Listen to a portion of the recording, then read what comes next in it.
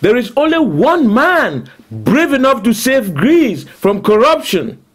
All other politicians can suck his balls.